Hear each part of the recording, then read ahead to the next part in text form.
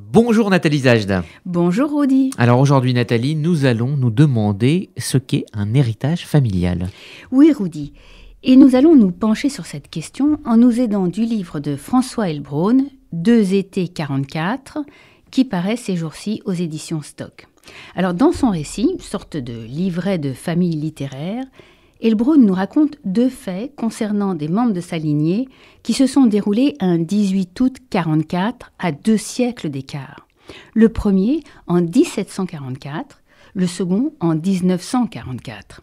Alors le premier est prestigieux, c'est le docteur Isaïe Serre Ullmann à Metz, un ancêtre de l'auteur, qui sauva le roi Louis XV, très malade alors que tous le disaient condamné. Le second dramatique. Il s'agit de la date de mort à l'hôpital Rothschild, quelques jours après la déportation de plusieurs membres de sa famille, de l'arrière-grand-père de l'auteur, ancien combattant, arrêté par Vichy alors qu'il était, pardon, qu'il était très malade.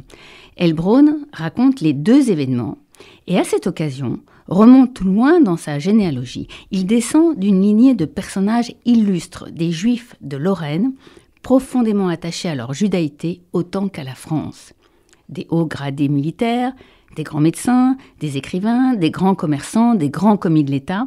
Alors dans la famille de François Elbron, comme c'est souvent le cas, on hérite de vocations qui existaient déjà aux générations précédentes. Tout comme les prénoms qu'on transmet, en commençant par celui de l'auteur, François, dont l'homonyme est un frère de sa grand-mère qui a combattu contre le nazisme, qui a péri et dont on n'a jamais retrouvé le corps. François Elbron porte bien son nom.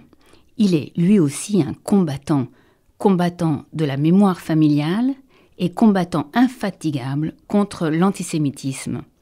Elbron, comme l'ancêtre qui est à l'origine de ce récit, lutte pour la pérennité des Juifs de France. Dans ce combat, François Elbron est un digne héritier.